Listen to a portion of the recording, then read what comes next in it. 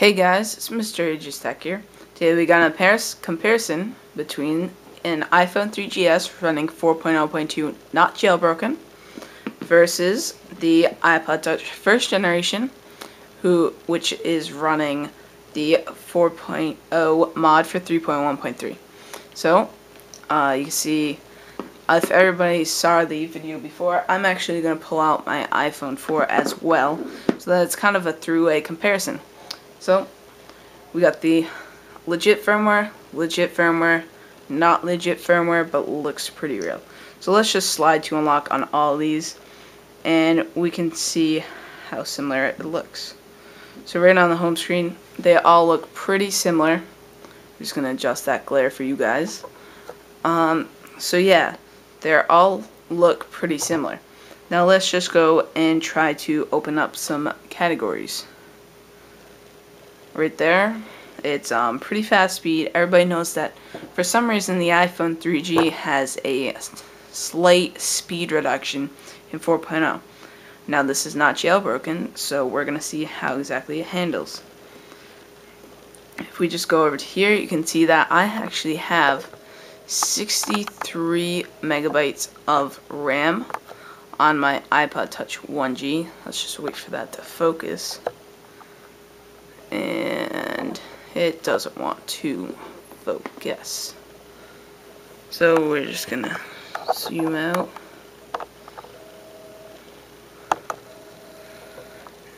And, well, that says 63 megabytes, as you can see right there. So that's very fast for this. Now an iPhone 4, that's not the fastest, but for this device, that is extremely fast. See, my iPhone 4 is going at about 200 megabytes. On average, you can get it up to about 400.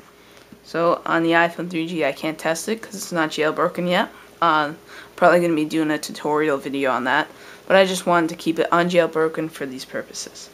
So, um, let's just launch a few apps. Let's open up settings. Now the iPhone 3G does not have multitasking where the iPod Touch first generation does. So you can see that there was a slight um, advantage on the iPhone 3G, but it's not a huge deal. Let's see. But if we have multitasking running, the obvious winner, the iPod Touch 1G. As you can see right there and the speed reduction isn't that huge when you have the multi multitasking running. So let's go ahead and open up photos. You can see right there, um, they, you can see. So, and this is still running multitasking. This one does not have multitasking. So, that's just something to keep in mind. So if we open it up again, you can see the obvious winner.